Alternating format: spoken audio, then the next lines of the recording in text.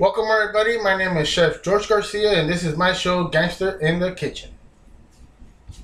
Welcome, everyone. On today's episode, we're going to work on the uh, citrus chicken orzo salad, and the ingredients are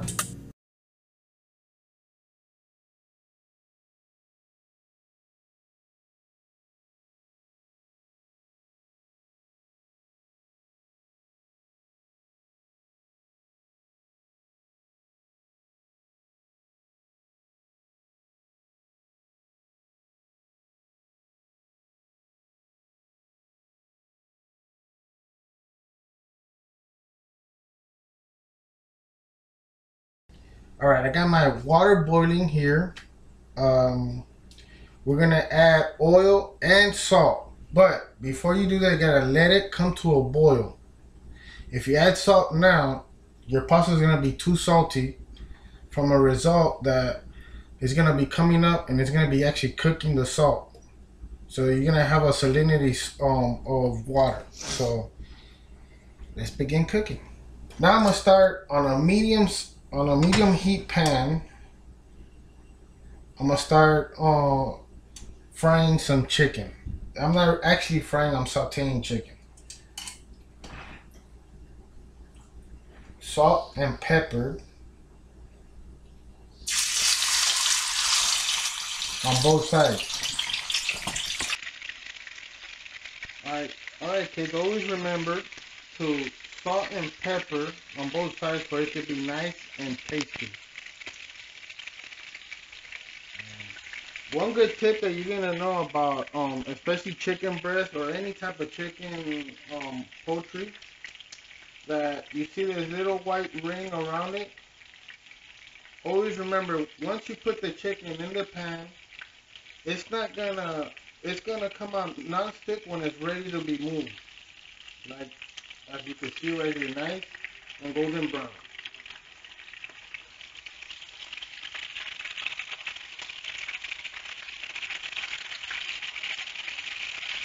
Try to cook the chicken for at least five or six five or six minutes on one side, three or four minutes on the other side, so you can have a nice juicy chicken. You'll know when the when the chicken is ready when you touch it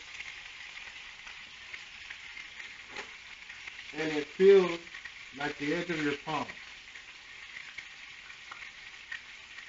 This is medium rare. You put it real tight, it's overcooked. You loosen it up, it's medium. Medium well. And this is medium rare.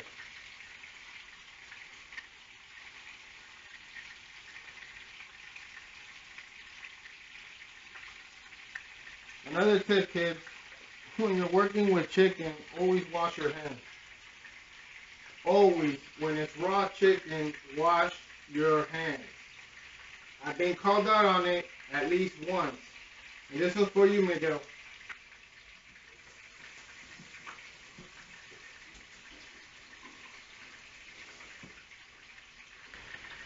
Now that you can see that you got your water that came up to a boil, we're going to add salt and oil.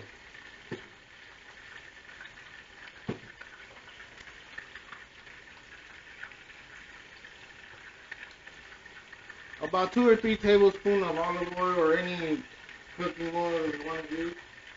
Always remember, salt the water well now so you can have your pasta well seasoned. Now we're ready to add our pasta. This pasta is orzo pasta made from semolina flour. It looks like rice, but it's not rice.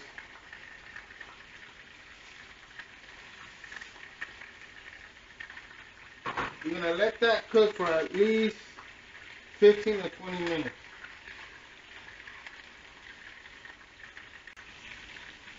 While I got the chicken cooking over here and the pasta bo um, boiling, I'm going to start chopping some onions and some cherry tomatoes.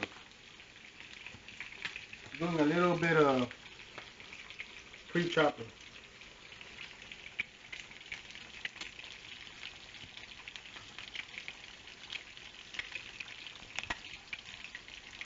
You do a little slice over here, another one on top.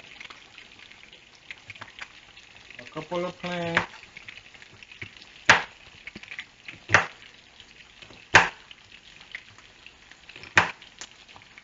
And now we're gonna um, dice it like they do in the Sheffield world.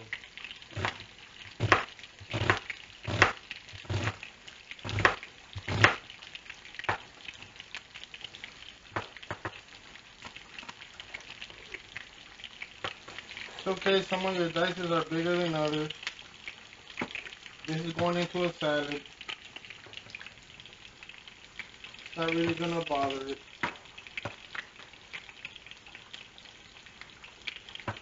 That out of the way. Let me take the chicken out. The chicken's speaking to me and it's ready to get out.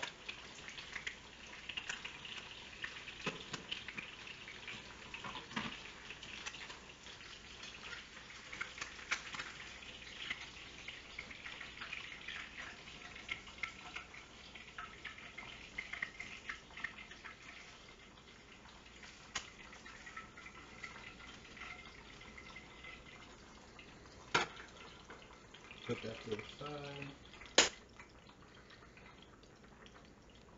We're gonna let this chicken rest for at least five minutes for all the juices to get um redistributed.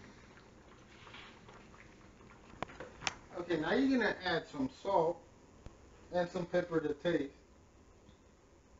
About a teaspoon, a tablespoon around of, of salt, if you want to go that route. Same with the pepper.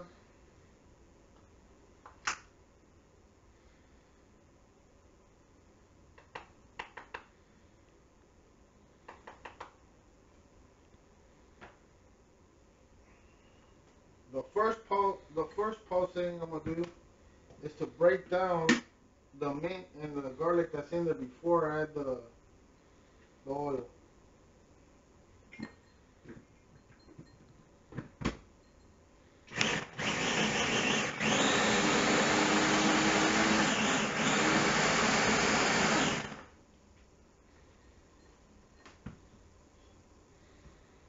Normally in a vinaigrette you're gonna add it as a stream the oil.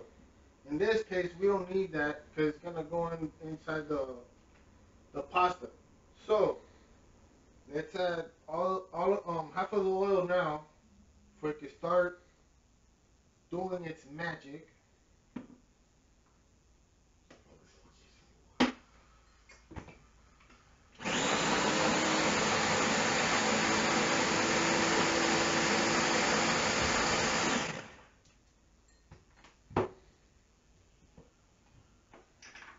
We're gonna add the other half.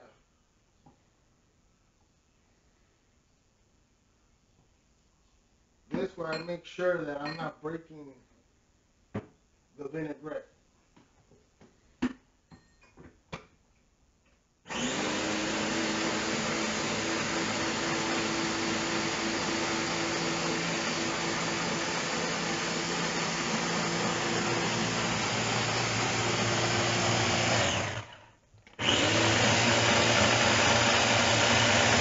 After I already prepared my sauce, always remember you gotta taste it to see if it tastes good or to adjust your seasoning.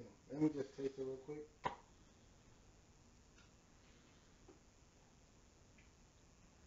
Alright, it's gonna need a little bit more pepper.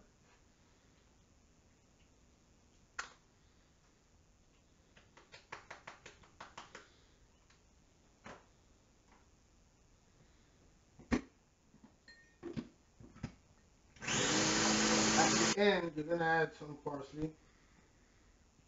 Okay, I already added the tomatoes and the chicken to my to my orzo and the cheese and the onions.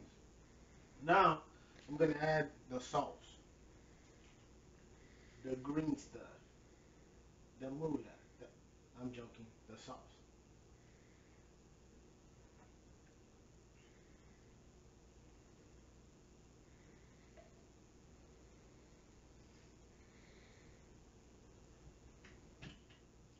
It very well.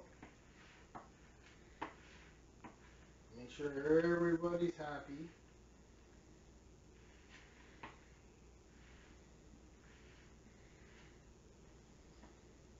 the good thing about this recipe, you can either eat it cold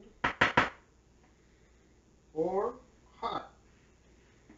My suggestion, if you're gonna eat it hot, don't add the the cheese yet because you will melt the cheese. So you add the cheese last.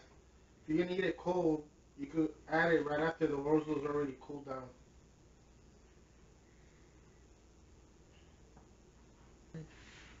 Plate it as so, and I'm gonna taste it real quick.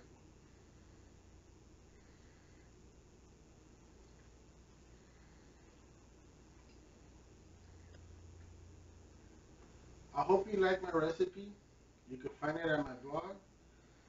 And always remember, keep it simple, keep it interesting, and always keep it from your heart. And even you could be a gangster in the kitchen.